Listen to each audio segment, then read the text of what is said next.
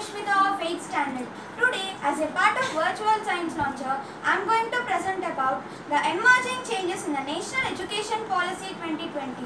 The National Education Policy 2020, NEP 2020, which was approved by the Union Cabinet of India on 29 July 2020, outlines the vision of India's new education system. The NEP 2020 aims to increase the GDP from 4% to 6% as soon as possible. The 10 plus 2 structure will be replaced with 5 plus 3 plus 3 plus 4 model. This will be implemented as a foundational stage, preparatory stage, second middle stage and secondary stage. Coming to the first one, foundational stage. This is further subdivided into two parts. 3 years of preschool or Anganwadi followed by classes 1 and 2 in the primary schools and this will cover the children of ages 3 to 8 years. Coming to the second one, preparatory stage. Classes 3 to 5 covering the ages of 8 to 11 years.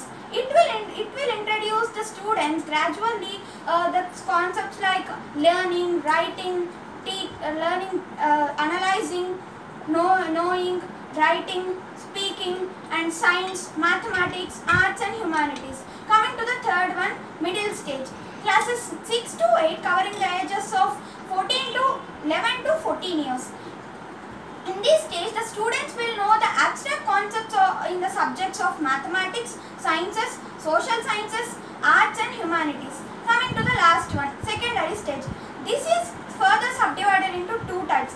That is uh, class 9 and 10 coming the first phase while class 11 and 12 come into the second phase.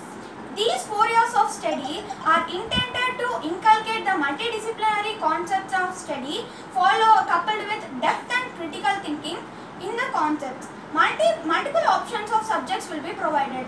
Instead of exams right being held every academic year, students will only answer three exams that is in classes 3, 4, 3, 5 and 8 and the higher education proposes a multidisciplinary bachelor's degree.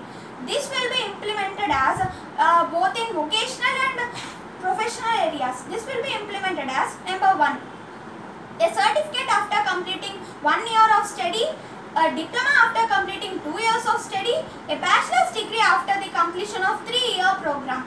The NEP, the online conclave on NEP 2020 was attended by our Honorable Prime Minister Narendra Modi Garu on 7th August 2020. Many edu- educational institutions took part of this. Some of them are BITS Pilani, Jamia, Punjab University, Tezpur University, Assam, and CU Kerala. So friends, this is all. This is about the emerging changes in the National Education Policy 2020. Hope you all understood. Thank you for giving this wonderful opportunity and have a great evening.